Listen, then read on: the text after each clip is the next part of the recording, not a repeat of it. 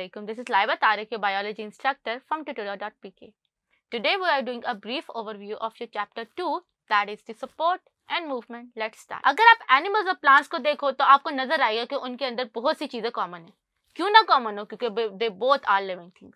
लेकिन जो main different है animals और plants में वो ये है कि animals can move from one place whereas the plants cannot.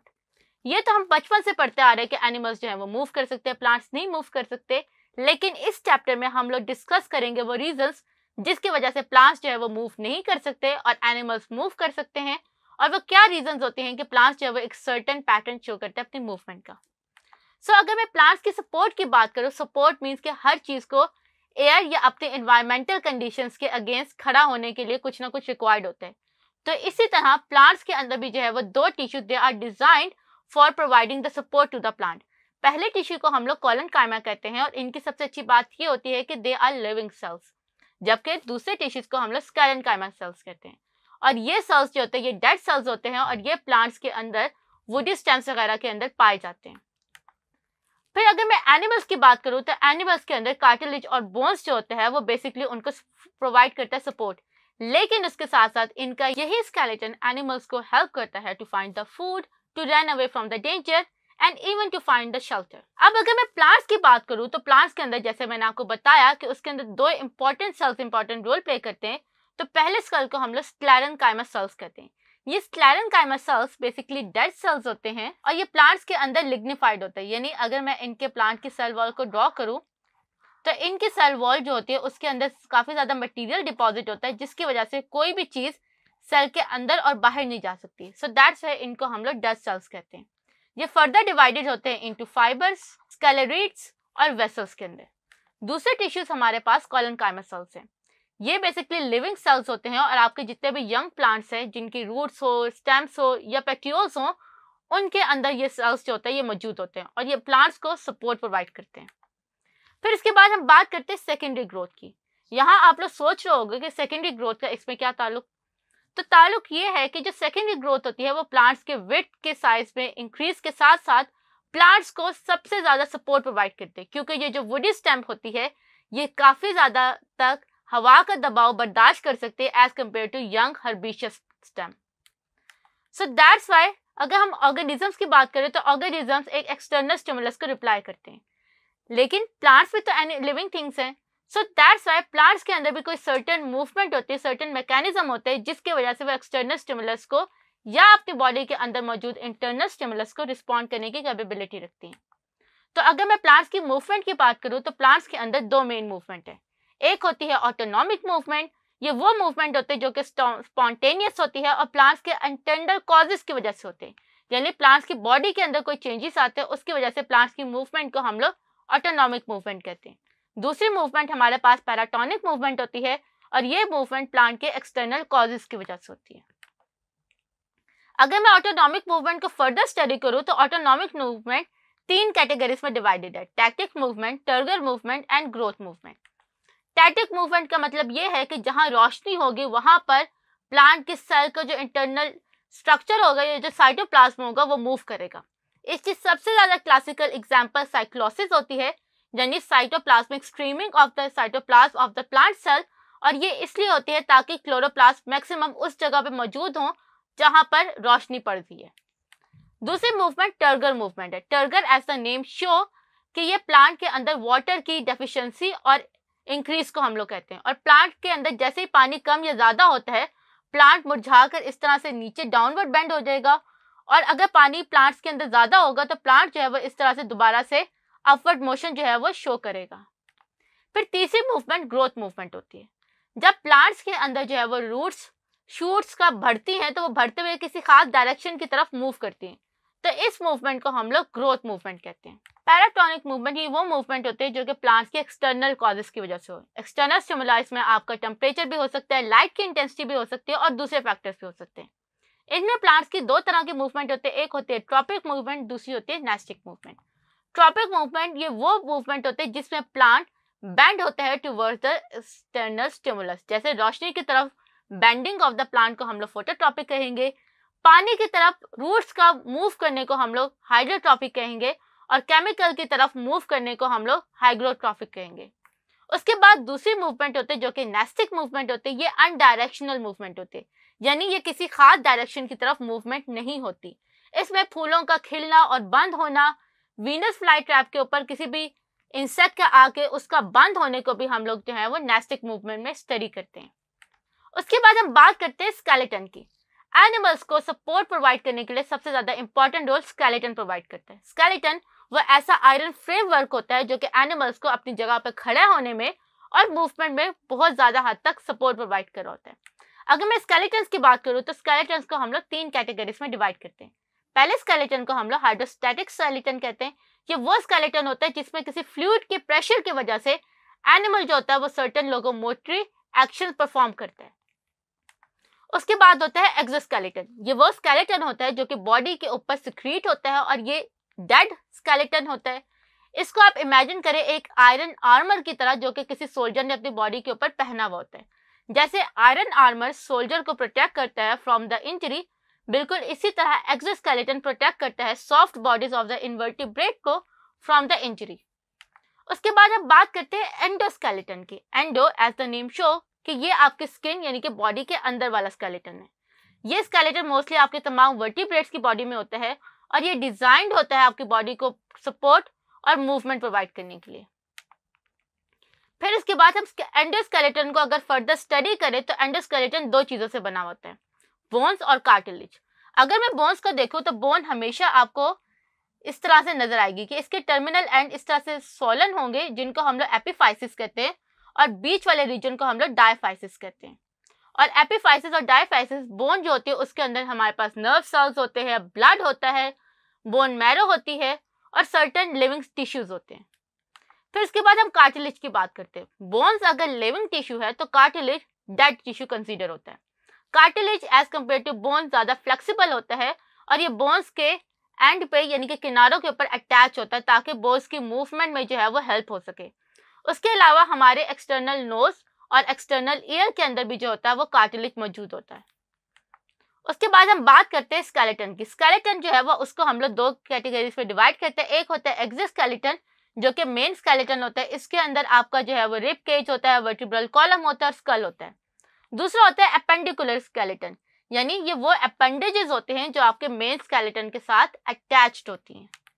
अगर मैं एक्जिस्केलेटन की बात करूँ तो इसके अंदर हमारे पास जो है वो आपका स्कल होता है वर्टिपल कॉलम होता है रिप केज होता है, और ये डिजाइंड होता है आपकी बॉडी के वाइटल ऑर्गन्स को प्रोटेक्ट करने के लिए। जैसे वी ऑल नो कि स्कल जो है वो प्रोटेक्ट करता है आपके ब्रेन को वर्टिब्रल कॉलम आपके स्पाइनल कॉर्ड को प्रोटेक्ट कर रहा होता है, और इसी तरह रिप केज आपकी बॉडी के हार्ट लंग्स लिवर और अदर इंपॉर्टेंट ऑर्गन्स को प्रोटेक्ट कर रहा होता है। उसके बाद हम बात करते हैं अपेंडिकुलर स्केलेटन की। अपेंडिकुलर स्केलेटन अपेंडेजेस यानी कि हैंड्स और फीट को आपकी बॉडी इनके मेन स्केलेटन के साथ ज्वाइनिंग में हेल्प कर होते हैं। इसमें हमारे पास दो होते हैं, एक होता है पेक्टोरल ग्रिडल यानी ये वो रीजन होता है जो कि आपके आर्म्स को आपकी एक्सियल स्केलेटन के साथ अटैच करवा रहा होता है। दूसरा पेल्विक ग्रिडल जो कि आपके लेग्स को आपके एक्सियल स्केलेटन जिनके मेन स्केलेटन के साथ अटैच करवा रहा होता है। फिर इसके बाद हम बात करते हैं जॉइंट्स की। वी ऑल नो जॉइंट उस रीजन को कहते हैं जहाँ पे दो बोन्स आपस में मीट होती हैं। जॉइंट हमेशा कार्टिलेज से क्रिएट होता है और इसके दरमियान में स्पेशल फ्लूड होता है जो कि जॉइंट्स को जब मूव करे तो फ्रिक्शन जो है वो उसको रिड्यूस कर सके।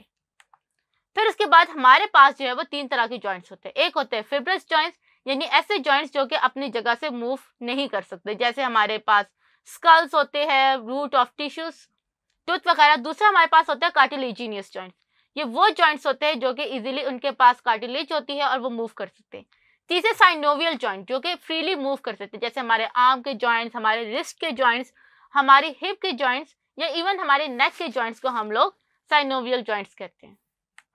देन हम बात करते हैं स्केलेटन के डिजीजेस की। स्केलेटन की डिजीजेस में कुछ डिजीजेस हमारे पास जेनेटिक होते हैं, जिनमें हमारे पास माइक्रोसेफेली यानी आपके हेड का साइज़ से कम होना आर्थराइटिस आपके जॉइंट्स का इन्फ्लेमेशन कॉज करना एंड देन ओस्टियोथ्राइटिस यानी कि आपके जो जॉइंट्स हैं, उनके अंदर जो कार्टिलेज है, उसकी डिजनरेसी फिर हार्मोनल कॉजेज यानी कि सर्टन हार्मोन्स जो होते हैं, जो कि हमारी बोन्स को स्ट्रॉन्ग कर होते हैं, अगर वो हार्मोन्स बॉडी से खत्म हो जाए तो हमारी बोन्स जो होते हैं, वो वीक और मजीद पोरस होना शुरू हो जाती है। इसके कॉमन एग्ज़ाम्पल में हमारे पास ऑस्टियोपोरोसिस है।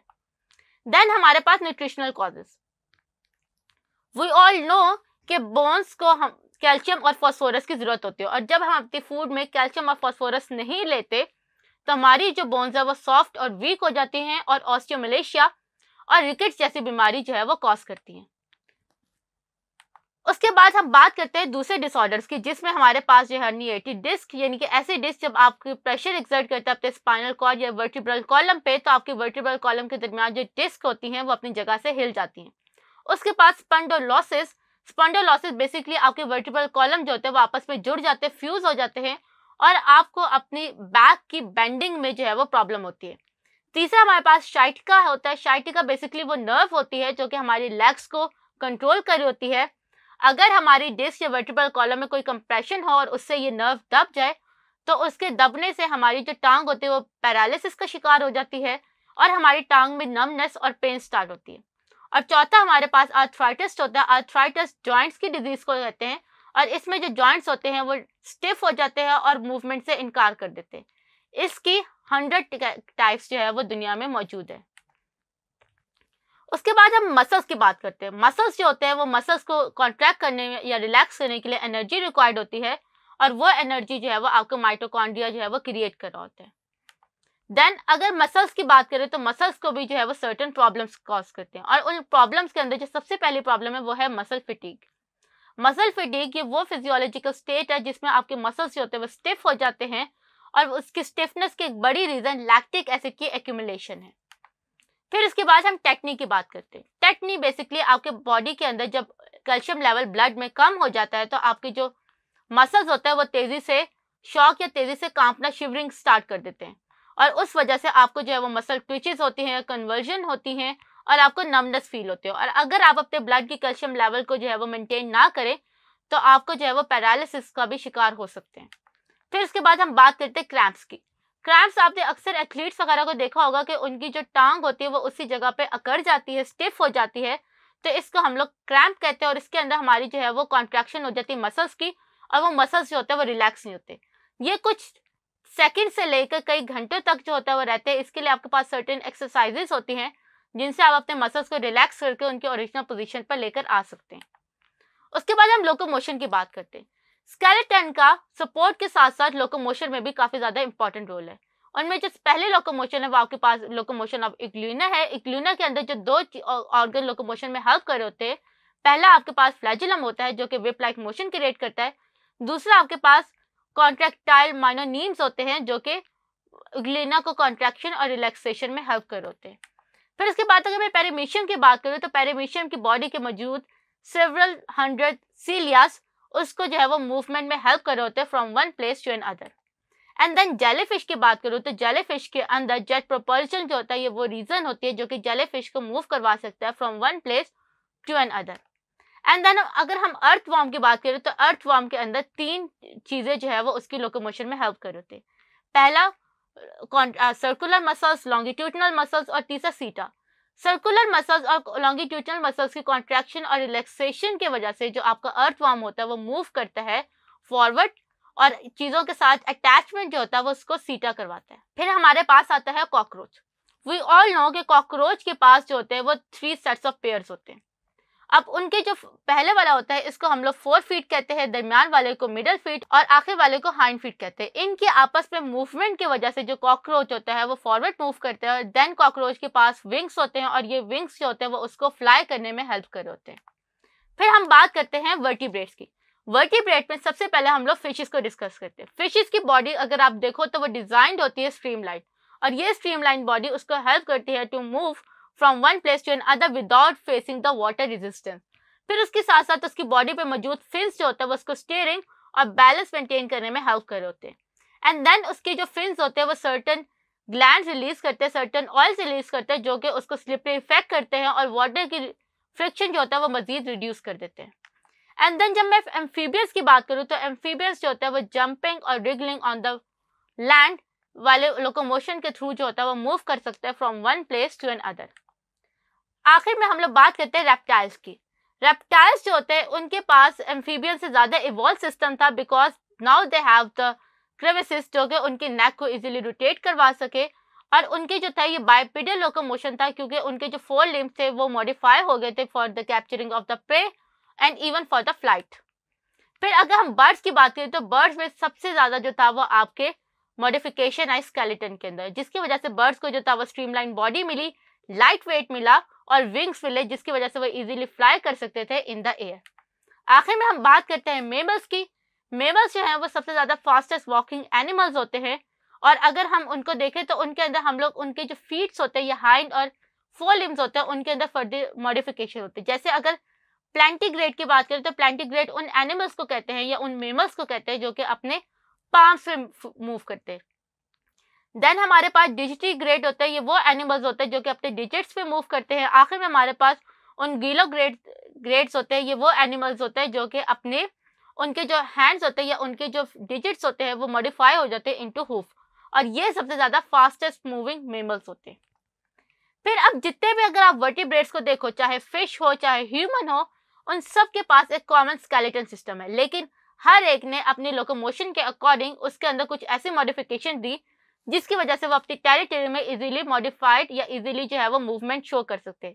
जैसे अगर मैं फिशिस की बात करूँ तो फिशिस के अंदर स्ट्रीमलाइन बॉडी फिंस उसको जो है वो मूव करवा रहे हैं इजीली वाटर के अंदर। और अगर मैं बर्ड्स की बात करूँ तो बर्ड्स के अंदर स्टर्नम का मॉडिफिकेशन इंटू कील उनके फोर लिम्स का मॉडिफिकेशन इनटू विंग्स फैदर्स का प्रेजेंस टोना लाइट वेट स्केलेटन ये तमाम मॉडिफिकेशन जो था वो बर्ड्स को एयर के अंदर जो था वो फ्लाई करवाने में हेल्प करी थी। और इसी तरह अगर मैं एनिमल्स को देखूँ तो एनिमल्स की बॉडी के अंदर जो फोर और हाई लिम थी, उनके अंदर भी सर्टन मॉडिफिकेशन हुई, जो कि उन्हें हेल्प करवा रही थी वॉक करवाने में रन करवाने में और एक जगह से दूसरी जगह मूव करवाने में। तो इसके साथ ही हमारा चैप्टर एंड हुआ। आई होप आपको आज के बताए हुए टॉपिक्स अच्छी तरह से समझ आ गए होंगे। This is live Tarif from tutorial dot P K signing off see you in the next chapter take care Allah Hafiz